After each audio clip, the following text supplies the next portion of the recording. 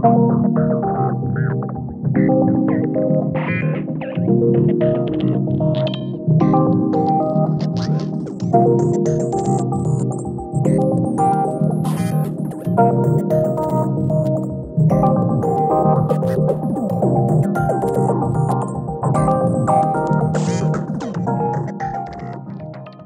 uh, my name is Jaap Swanenburg. I'm a researcher from the University Hospital Balgrist in Zurich, Switzerland.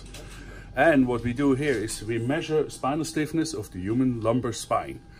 And well, we have just finished with our first flight. We were very successful. Uh, Bruno is already retrieving the data, as you see. Hi. Hello, Bruno. And it takes, of course, a little time. And to analyze it also. So uh, we're very excited. So uh, I think we had, had enough data today. So yeah. What is your experiment, Jeff? Yeah, we measure spinal stiffness of the human spine. For that, we have this probe, which gives an impulse to the lumbar spine, so in the back here, with about 80 newtons, so it doesn't hurt. And what we're retrieving is the impulse response, and therefore we can calculate the stiffness of the human spine. And did you had a lot of subjects for this experiment? Yes, we uh, measured two ladies today, and they went all very well. Uh, they had also fun, of course. It's also important.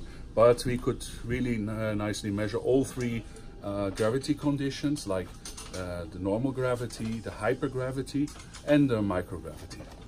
Thank you, Jeff.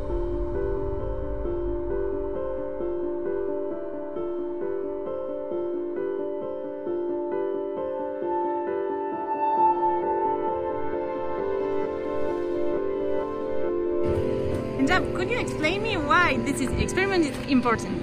Well, it's important because astronauts experience in space low back pain, like here down on Earth, people experience low back pain, and they have an uh, increased risk of disc herniation.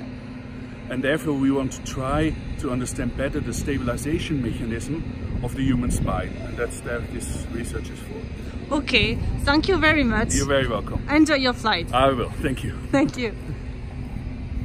So we're both working at the chiropractic clinic at the University of Balgrist in Switzerland. This was a really, really great chance to be part in such a small mission for us and be part of such a great, great event and have this experience. It was, yeah, it was just amazing.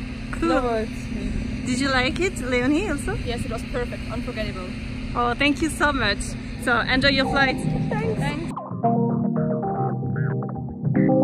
Thank you.